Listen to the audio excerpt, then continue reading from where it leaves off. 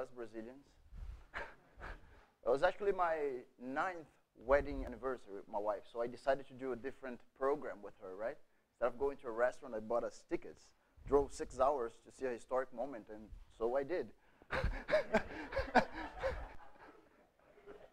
but I'm glad. I want to start by congratulating the German nation. German soccer team was marvelous. It really deserved it.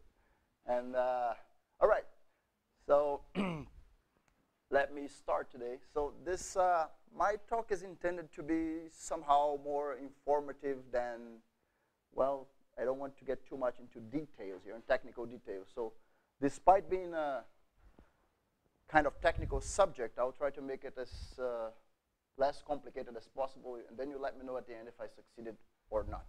Okay, so essentially what I want to do is sum up uh, some work that I have been doing over the last couple of years uh, on these uh, so-called extremal functions, and then uh, with lately some applications to number theory, right? Hilbert spaces and bounds for the Riemann-Zeta function. All right, so let me start. I'll divide this talk into three parts. So the first part, I'll talk about this extremal problem uh, of Beurling and Selberg type.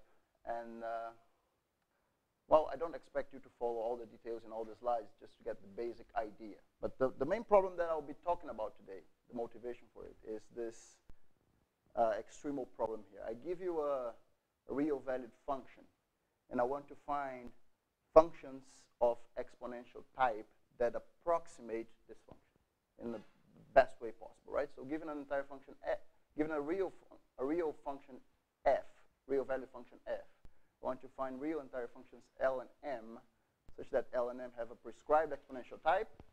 Uh, L is below f and M is above f. And subject to conditions 1 and 2, uh, L and M minimize the L1 distance to f. Okay? So this uh, one-sided condition here is important for applications. Right? Of course, you could consider the same problem of just approximating the function f, but this is a pure approximation theory problem, it's not good for applications. Well, here exponential type is, of course, this quantity, and it's uh, pretty much related to the main important thing here is that it's related to the support of the Fourier transform, right? So the exponential type finite uh, plus some decay condition on the line means that the support of the Fourier transform of the function is contained on a compact interval, right? Exponential type tau, support contained on the interval minus tau over 2 pi, tau over 2 pi. Here I use uh, classical Stein's notation for the Fourier transform with 2 pi ix. Okay. Uh, as I said, previous work on this by Bernstein, Krein, Akhiezer, Nagy uh, on the pure approximation problem without the one-side condition. And then at least to my knowledge, the first one to consider this problem was Beurling on the 30s for the function f of x signum of x. I'll show in the next slide uh, exactly what it is. And then Selberg in the 70s, Logan for the characteristic function of intervals, then Vaaler in the 1980s for these exponential functions here. So a typical picture of this problem is this, right? So here's Beurling's original construction for the signum function. And the blue function here is the best function of exponential type 2 pi that lies above the signum function. Selberg in the 70s had the clever idea to combine two signum functions with a shift to produce a characteristic function of an interval. And of course, if you sum the two majorants, you get a majorant for the characteristic function of the interval. This is not always optimal, but it's a simple enough construction to yield for a lot of applications in number theory connected to large sieve inequalities, Erdős-Turan inequalities, Hilbert type inequalities, and so on, and so on. Uh, so this, this in the 70s and the 80s were so-called magic functions because it was very convenient to somehow have a characteristic function of an interval popping up on a certain place, and you substitute for a majorant that has the Fourier transform compactly support, and then do a lot of calculations with this. Much simpler. Uh, here are pictures of Beurling Selberg. Uh, well, what? Of course, you can consider this problem in the full generality, right? If you want to, to be very hardcore, you can uh, say, well, okay, so now I, let's move to dimension n, and let me give you a compact, convex, symmetric set K, and mu, a non-negative Borel measure on Rn, and I give you a function from Rn to R. I want you to find me real entire functions L and M of several complex variables, such that they have distributional Fourier transform supported on a compact set K, they M majorizes F and L minorizes F, and subject to 1 and 2, they minimize a certain L1 uh, metric with, with this weight, d mu, right? Posed in this full generality, this problem is very complicated. Well, the problem was very complicated before. Well, I think my pointer, my pointer stopped working. I don't know. Uh, and the only previous work on this uh, several variables was done by Jeff Vaaler in 1996 when he considered the functions, the characteristic functions of balls, and then with my compact convex symmetric set, the support of Fourier transform being a Euclidean ball. Of course, you give you can give a concept of exponential type. The concept of exponential type in several variables is now connected to a convex compact set. Uh, and it depends on the set that you choose a priori. All right. Uh, let me give you a baby example to show you what are the difficulties in this sort of problems and uh, how we can proceed. So the basic, the simplest example that I can think is this, what I call the one delta problem. This is a problem that you can all, you can ask your students in the qualifying exam. I usually do that in IMPA. So uh, find me a function f, which is integrable with Fourier transform supported in minus 1, 1, such that f is non-negative and f of 0 is bigger than 1.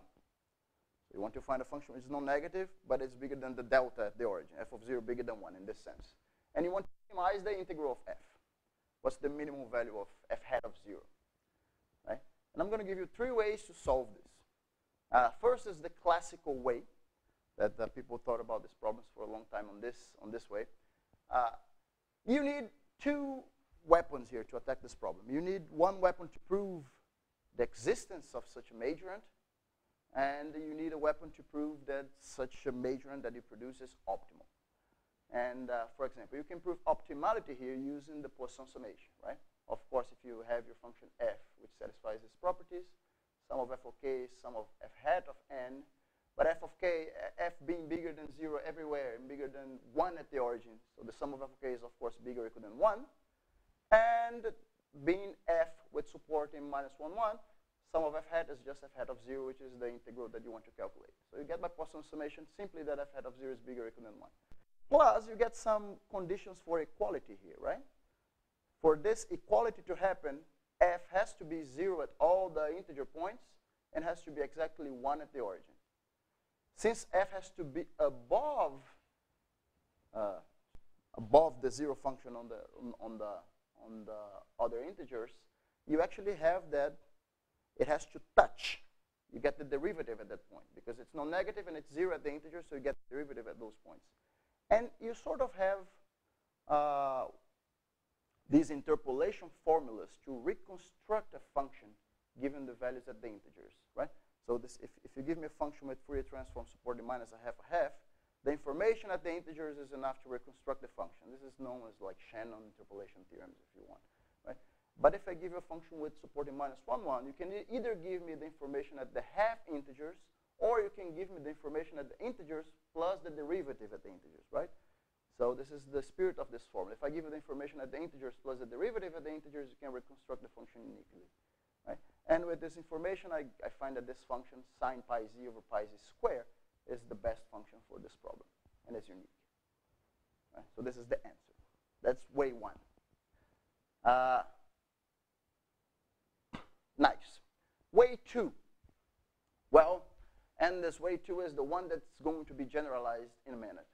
Uh, again, if I have a non-negative function of exponential type 2 pi, Fourier transform supporting minus 1, 1, then I can write this non-negative function as a square of a function of half of the type. So this is a classical result of Krein uh, Fourier transform of G supporting minus a half a half. Now, I'm going to consider this Hilbert space of L2 functions with Fourier transform supporting minus a half a half. This is what I'm going to call Paley-Wiener space of type pi.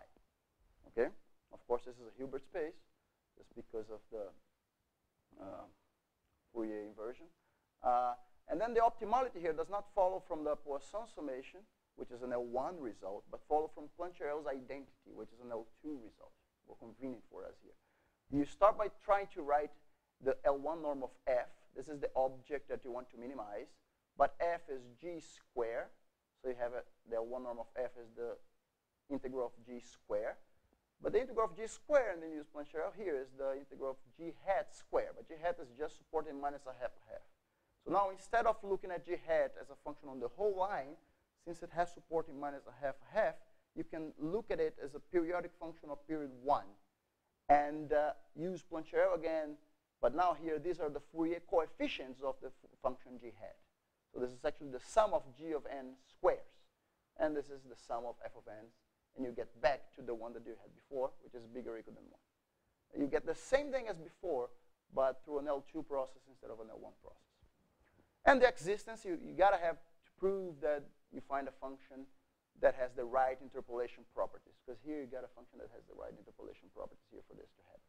I will not get into much detail on this part now.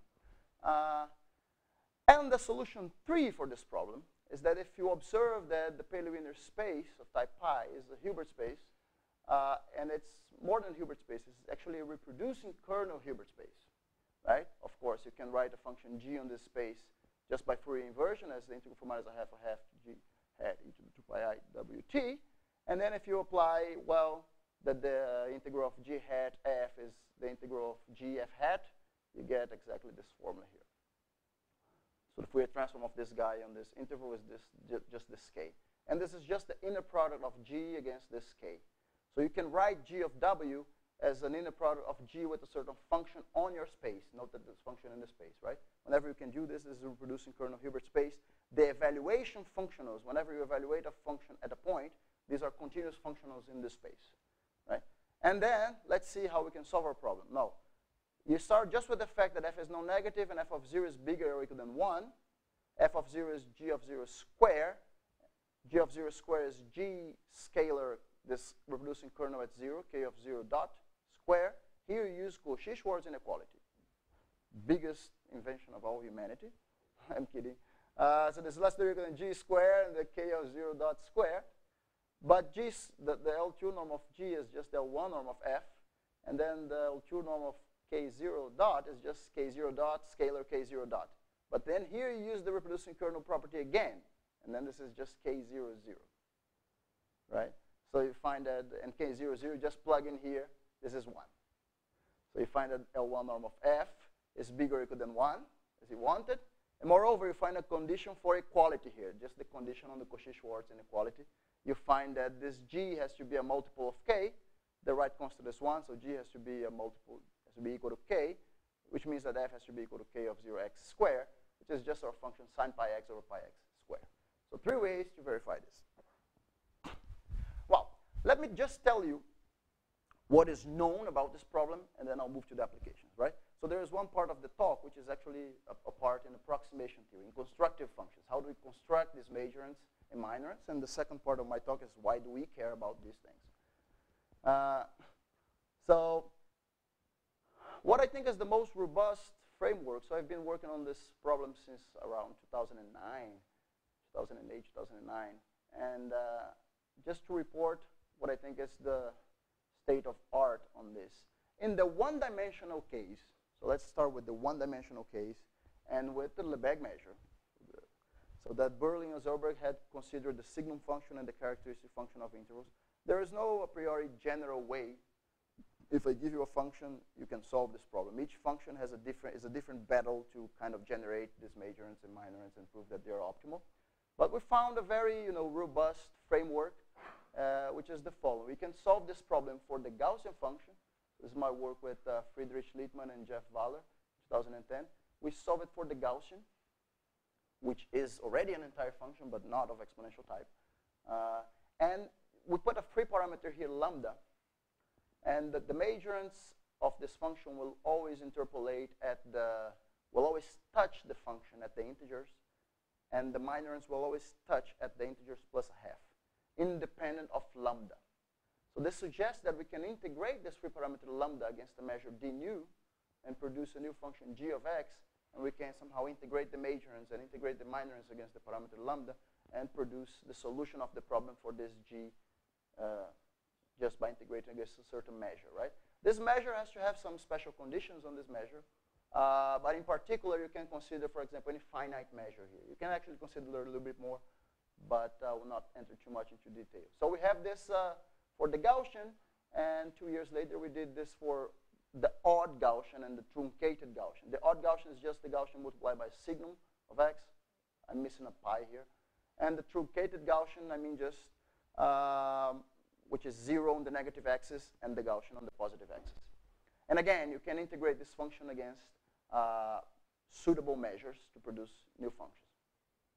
Well, this gives me a method to generate the solution of this problem for even functions, odd functions, and truncated functions.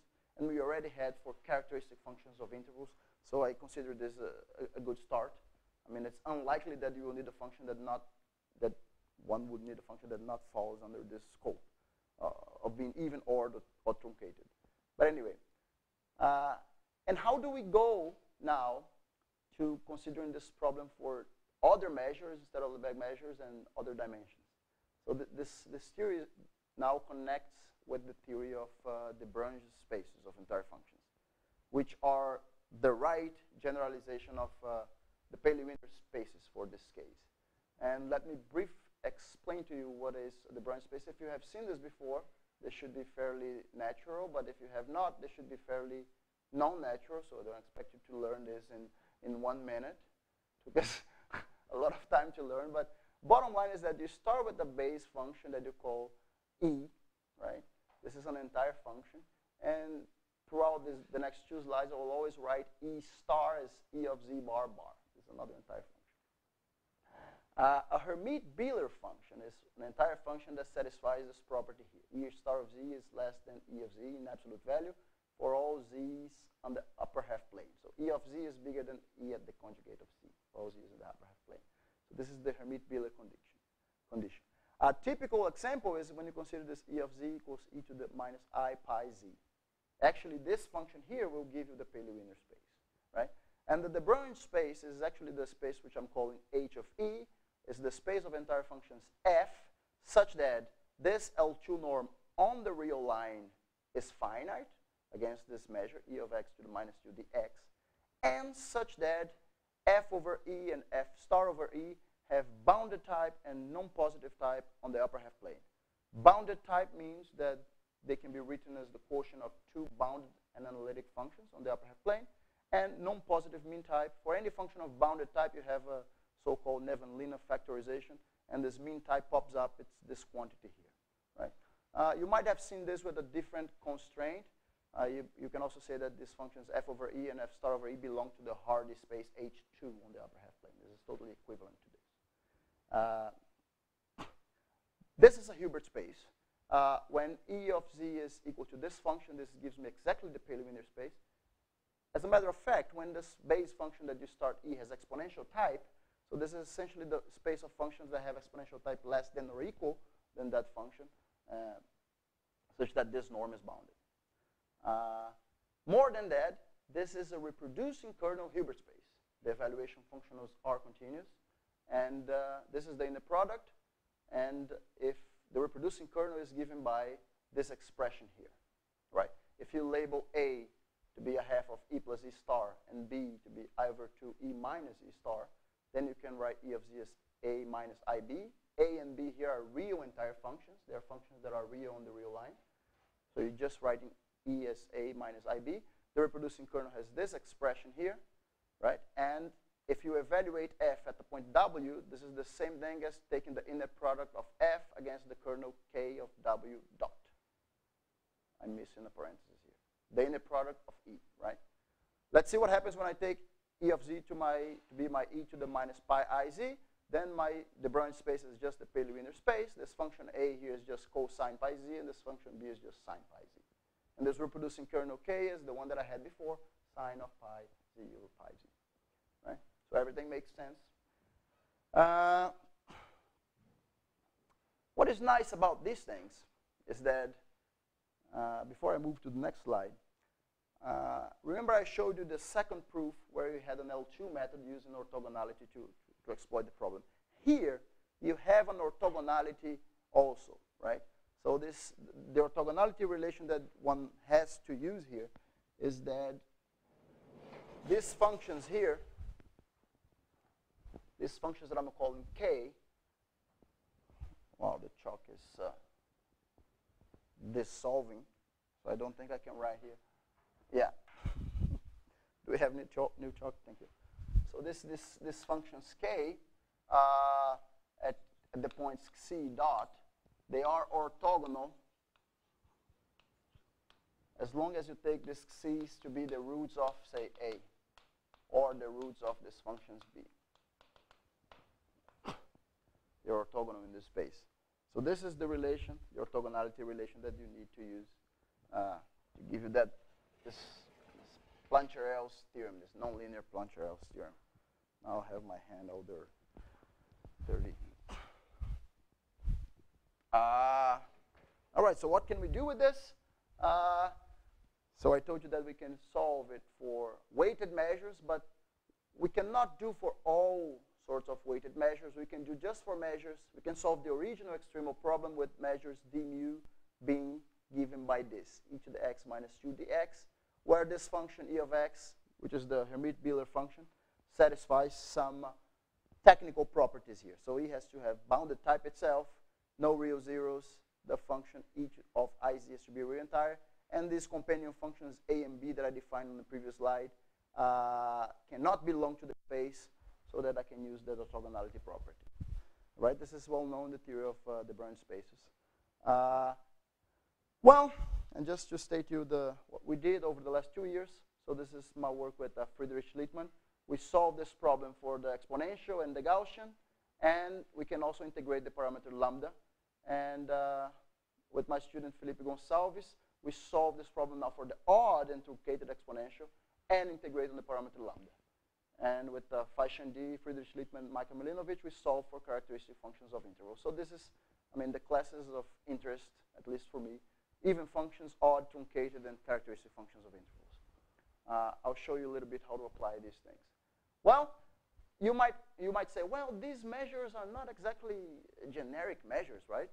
I mean, like, can I give you a measure and you can say that you can write like this? Not exactly. But this is where and why I find this so beautiful and I, where the whole magic happens. So let me give you a very bad example, and nasty, you know. Y you might start looking at these functions, and uh, you guys are working on Bessel functions will like this. So this is, you consider this function a nu and b nu just to be Bessel functions, you know, multiplied by a certain part of c. So this, this is the functions related to the Bessel functions j nu and j nu plus 1, right? And you form this function e nu by saying a minus ib. So these are real entire functions. You take a minus ib. I claim to you that this is a Hermite-Biehler function that satisfied my technical properties P1, P4 in the previous slide. And this is a function of exponential type. This is actually exercise 228 on de Branges' book. I'll tell you the story about de Branges' book later. and magically, you have this identity. For any function on de Branges space, you have that the norm against this, this measure, e nu minus 2 dx, is equal to the integral of fx squared against a certain power measure. This is very mysterious to me and very beautiful because this is not equal to this pointwise at all. This is completely crazy and this is completely different from this, but whenever you take a function on the space and you integrate against these two guys, they give you magically the same number. So that's what allows you to solve, for example, the original extremal problem with this measure because ultimately you will do a L1, L2 reduction on the branch and bring your functions to this branch space. And here you have this magical identity. Right? So this is what we do.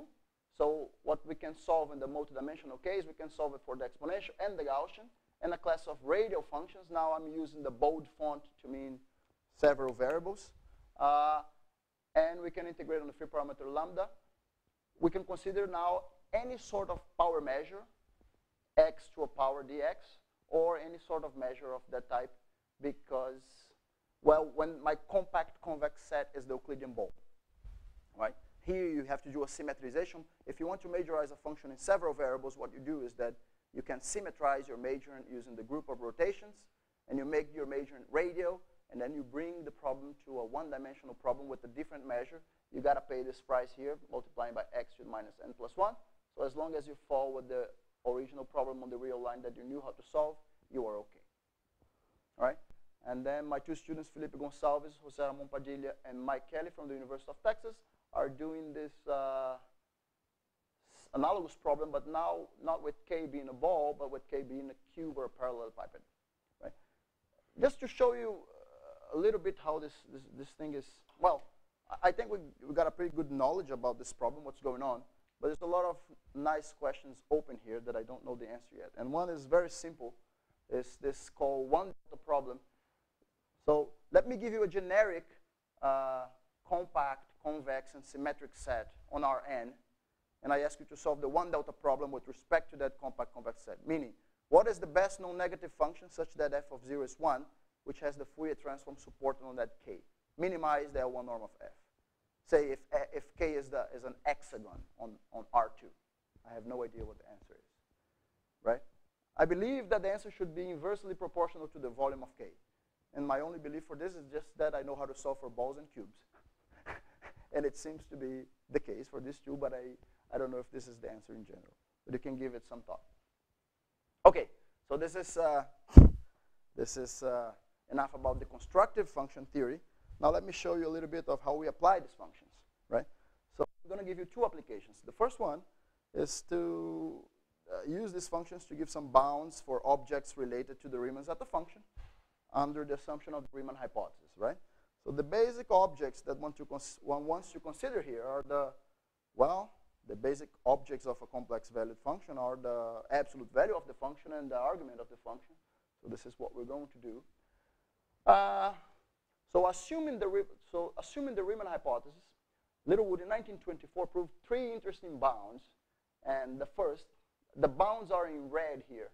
He first found a bound for the modulus of the Riemann zeta function on the critical line. Zeta of 1 half plus it, absolute value log of this is less than or equal than log t over log log t.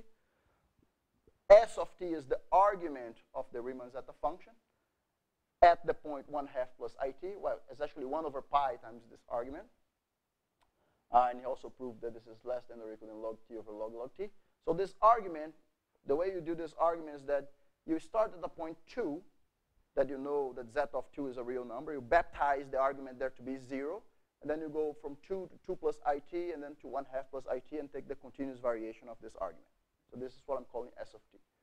And uh, you can take another quantity of interest here is the antiderivative of the argument function, this function that I'm calling s1 of t. So Littlewood also proved that s1 of t is less than equal to log t over log log t squared. So these are the three Littlewood estimates in red. Uh, these estimates were never improved in 90 years, never improved in the order of magnitude. The order of magnitude is still this. Uh, the only improvements have been on the constant that one can place here in front. And I'm stating here what were the best constants up to a recent date.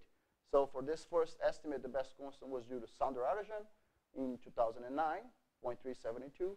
For this one, best constant was, was from Goldston and Gonek, C a half. And for this one, the best constants were due to Fujii. Well, these are two constants. On the positive side, 0.32, and on the negative side, minus 0.51. We have improved these three results, and here it is. So the first theorem is due to Fai Chandee and Soundararajan in 2009, and improved the constant for the absolute value of z of 1 half plus it. They replaced the 0.372 by log 2 over 2. And then for the argument, uh, for the S of t and S1 of t, we improved the 1 half to 1 fourth, and we improved the other constants by placing this optimal pi over 48 and pi over 24. Optimal with the existing methods, right? So this is an improvement of a half on the previous constant, and this is roughly an improvement of eight times what were the previous constants. Now, the idea to prove these three results is essentially the same. It's to reduce a problem in number theory to a problem in Fourier analysis. And the idea is to, you have a representation lemma to write uh, your objects, the objects that you are considering, as a known function of t. So you want to evaluate this object at the height t. You want to write it as a known function of t minus a sum over the zeros. So these gammas here are the imaginary parts of the zeros of the zeta function. So I'm assuming the Riemann hypothesis, so my zeros are 1 half plus i gamma. So I can write my object as a known function minus a sum over the zeros plus an error term, big O of 1. And uh, these functions that appear here at the sum of over zeros, functions that appear in this first one, f, and then here g, and then here h, these are not random functions. These functions have a certain nature uh, connected to the problem. So this, the function that appears here, f, is equal to log of 1 plus x squared over x squared. This crazy function appears here. This g is this arc tangent of 1 over x minus x over 1 plus x squared. And this h that appears here is this crazy function here, 1 minus x arctangent of 1 over x. Somehow these three functions popped up. So now what you want to do is you want to evaluate a sum of a certain function over the zeros, over the ordinates of the zeros of the zeta function. How do you do this? There is a formula in analytic number theory called the Guinand-Weil explicit formula, which says essentially that if you have a function that is smooth enough, if you have a function phi that is real analytic on a horizontal strip, right, and has some decay on this horizontal strip, then you can sum phi at the zeros of the zeta function. By phi at two points, there's a phi hat of zero, there is an integral of phi with a certain uh, gamma logarithm derivative of the gamma function, and a certain sum of the Fourier coefficients of phi against the von Mangoldt function here. I don't want you to memorize this formula at all. I don't want you to know this formula at all. I just want you to know that there is a way to find the sum of a function over the zeros of zeta, but we cannot apply this because to apply this formula, you need some sort of regularity on, on this function phi. It has to be real analytic on a strip. Our functions on the previous slide are not even continuous at zero, right? So there's no way that you can apply this to this function. So the way to proceed is to actually replace the function by a majorant or by a minorant, thus generating an inequality. And you want this majorant to have some nice properties. And for this particular problem, it happens that the nice properties that we need, for example, are that the Fourier transform is compactly supported. Because you have a function here, you have an infinite sum here at the bottom that involves the Fourier transform of, of phi. So if, if this phi had the compactly supported Fourier transform, this would make your life much simpler, right? And also you have a phi hat of zero there. So you want somehow to not change that, that much. So the idea here is to just replace, say, your function g by a major m of exponential type delta. So I'm calling here m delta, major of exponential type 2 pi delta. So let's say Fourier transform is supported minus delta delta.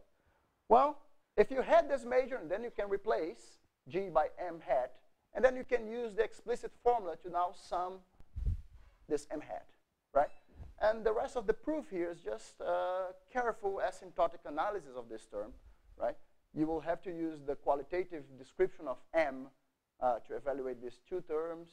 And here there is an integral involved the logarithm derivative of the gamma function you have to use too.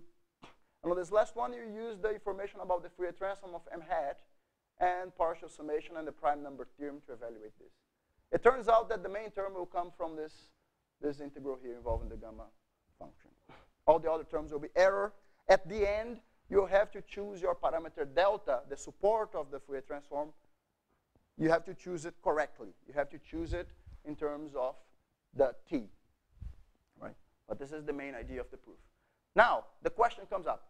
Well, you gave me a nice, very method on the first part of the talk, uh, but the method was not very, you know, uh, explicit. You just said that you can construct for the Gaussian or the truncated Gaussian, and you said that this was powerful because you could integrate against some measures. But now I have three explicit functions here that need to be taken care of.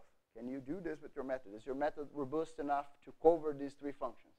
And the answer is yes, and I'm presenting to you here how we can integrate the Gaussian against certain finite measures to produce these three functions. So for example, the, the second function, g, arctangent of 1 over x minus x over 1 plus x squared is the integral of the sine Gaussian. This is an odd function against a certain measure of lambda, and the measure of lambda is given by this.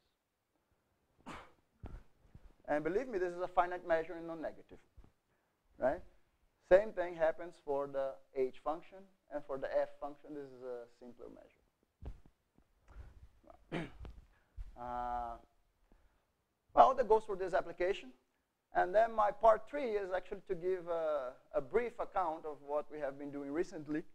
This is a recent work that I did with Fai Chandee, Friedrich Littmann, and Michael Milinovich uh, on these sort of extremal problems in Fourier analysis related to the pair correlation of the zeros of the Riemann zeta function. So not to bore you, just talk briefly over the last 10 minutes. Uh, the setup is the same. Zeta is the zeta function here. Uh, the zeros are denoted by rho sigma plus i gamma, generic zero. You have the zero counting function. The zero counting function counts the number of zeros up to height t. And it's well known since the time of Riemann that this zero, the, the number of zeros up to height t is approximately t log t over 2 pi. The goal, and this started with Montgomery, was to study the pair correlation function, which is n of t. I give you a parameter beta, which is to count the number of pairs of zeros. So I'm just labeling here the ordinates, number of pairs of ordinates of zeros, gamma and gamma prime, between 0 and t, such that the difference gamma prime minus gamma is at most 2 pi beta log t. Right. Why, what is this number? Why do we have this 2 pi beta log t? This is just a normalization. So what I'm counting here is then, since the, the, the number of zeros at the height t is t log t over 2 pi, what I'm counting here is the number of pairs of zeros that are less than beta times the average spacing. So this would be the average spacing at the height t, right? This counts the number of pairs of ordinates whose difference is less than or equal to beta times the average spacing. Well, uh, in 1972, Montgomery conjectured that this n of t beta is approximately the number of zeros up to height t times the certain factor. Integral from 0 to beta, 1 minus this measure dx. This somehow suggests that the zeros are not equally distributed. If the zeros were equally distributed at all heights, this pair correlation function would not see this term. It would just be equal to the n of t. Right? So this suggests that there's some somehow some it's they're somehow skewed. Uh, uh, well, if you note that, uh, then you note the asymptotic of this when beta goes to infinity, right? The integral from 0 to beta of this measure is approximately beta minus a half plus the term of 1 over beta plus big O of 1 over beta square. So we want to find, the goal here is to find bounds for this object, uh, say, fixing beta when t goes to infinity that somehow look like this, right? And here is the measure of interest, right? So here's the picture of these guys.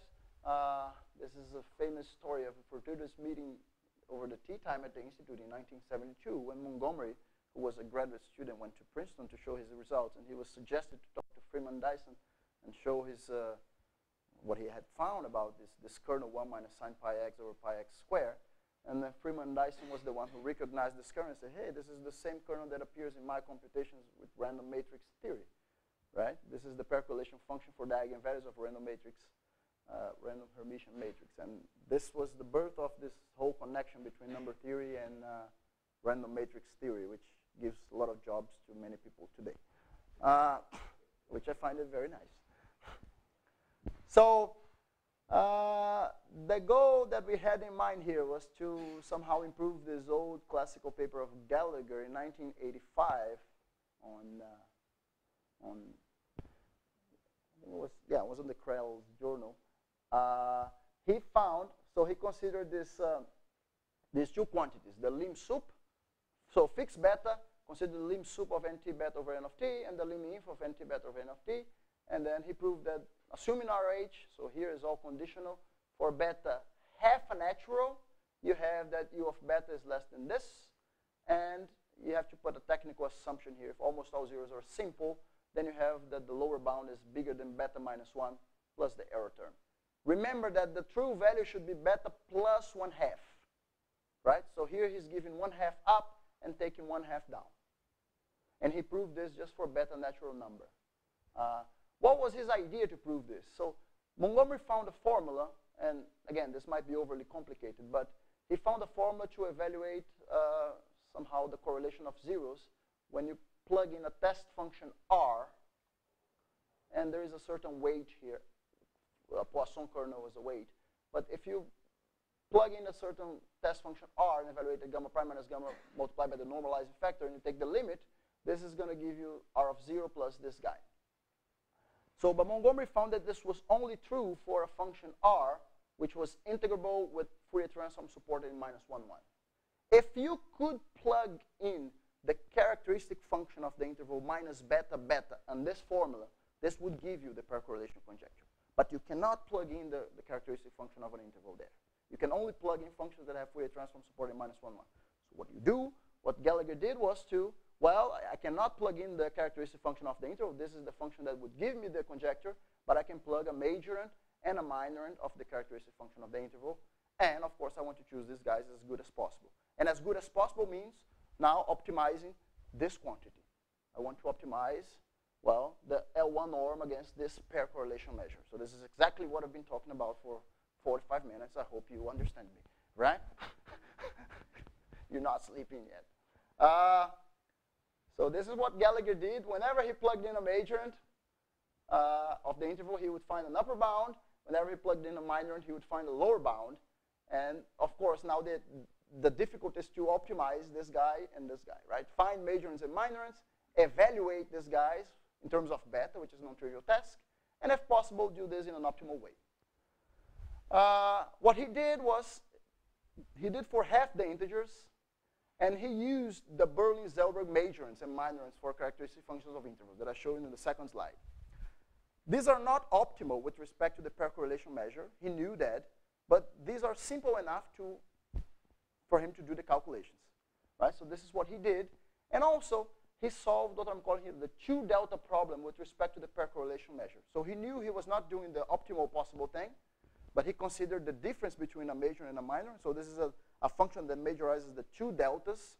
Majorizes, I mean, it's a non-negative function that at the points plus and minus beta is bigger than 1.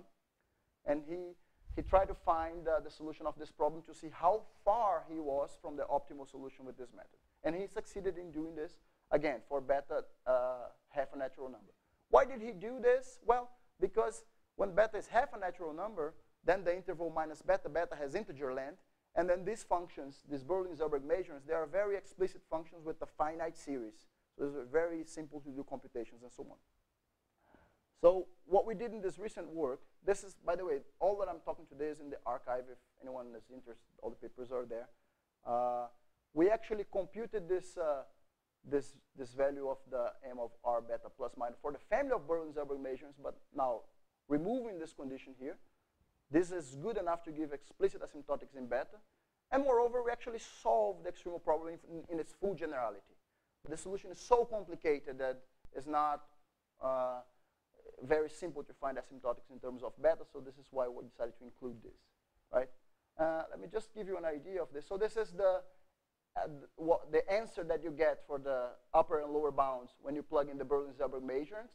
You found this is the main order term, and this is the remainder, right? Of course, when beta is a half an integer, this is not here. This is all zero. Uh, the proof uses, now you have to take care of the infinite expansions of these guys.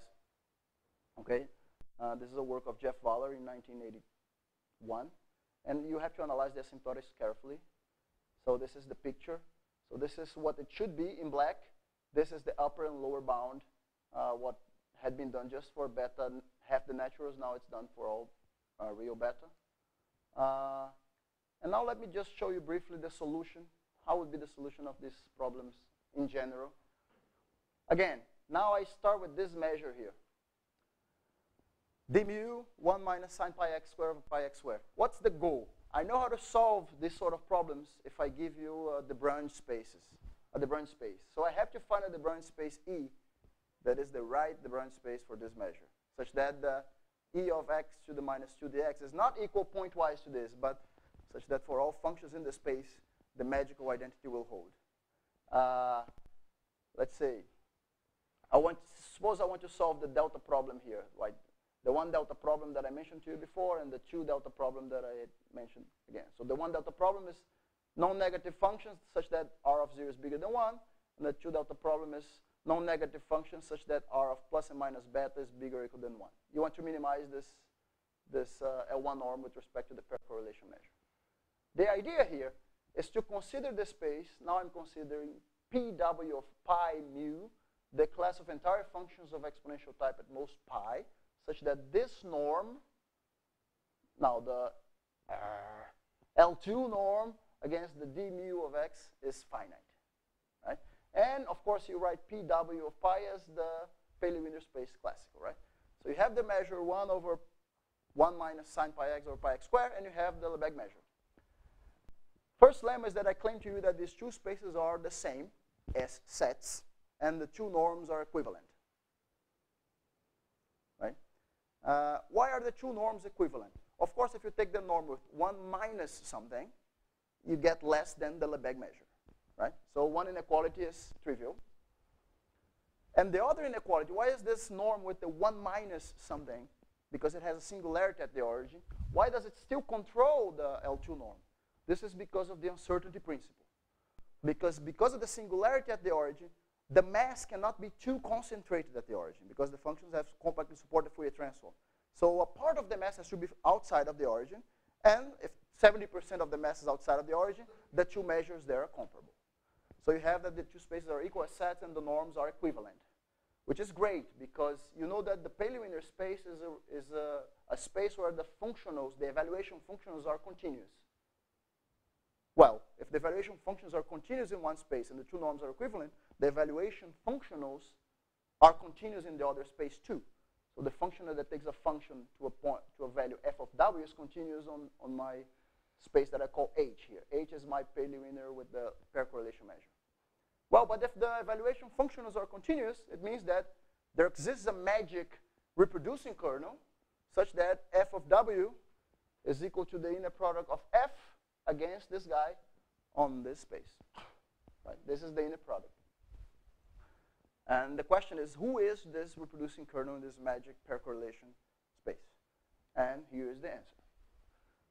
This is the pair correlation. This is the reproducing kernel for the Hilbert space with the pair correlation measure. Now, if you have the reproducing kernel of the space, it is very easy to solve the one delta problem, as we saw on the third slide.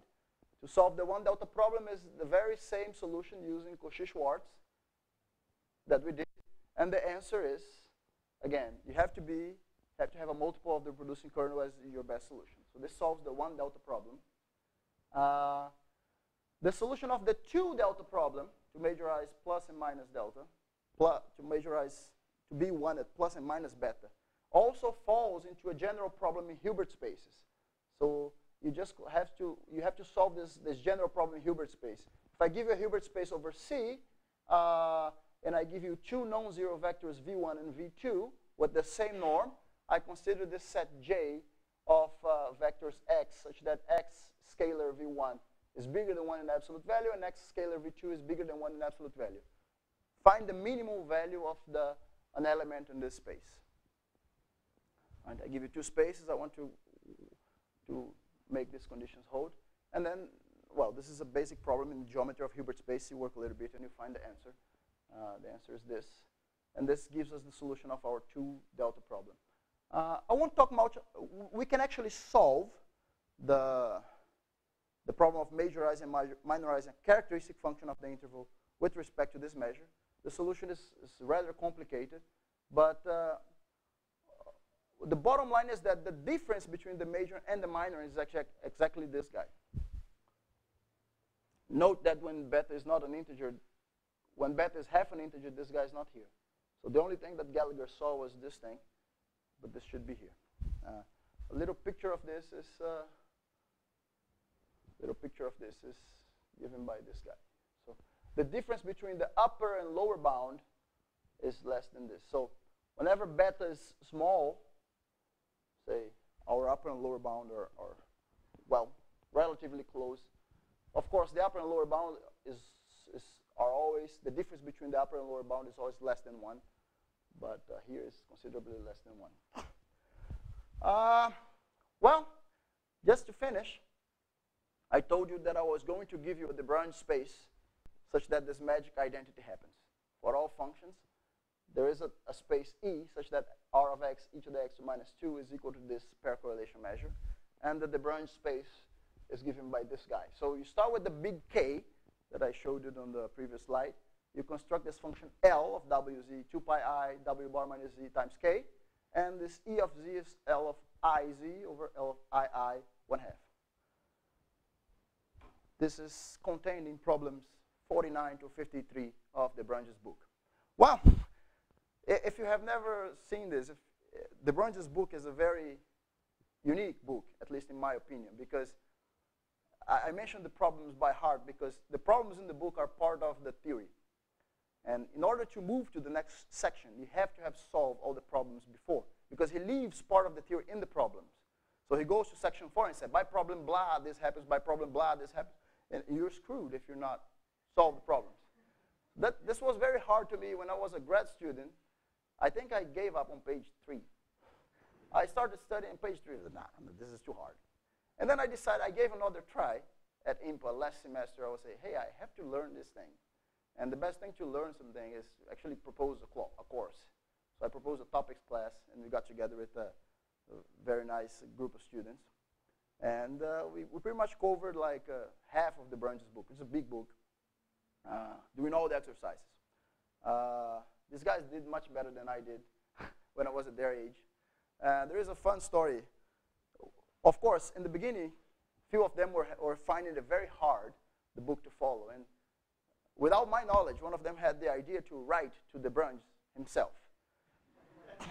so he wrote an email, found the email of Professor Louis de Branges online. He said, Dear Professor Louis de Branges, uh, I am a student here in IMPA, and I, we are taking a very nice class on your book, uh, which is a very nice book, but very hard to follow. I wonder if you had additional lecture notes on this that I could follow, blah, blah, blah, blah, blah, blah, blah, blah, blah. So best regards, blah, blah, blah. Professor de Branges replied one day, and the answer was like this. Dear blah, blah, blah, you were right about one thing. My book is indeed a great contribution to analysis.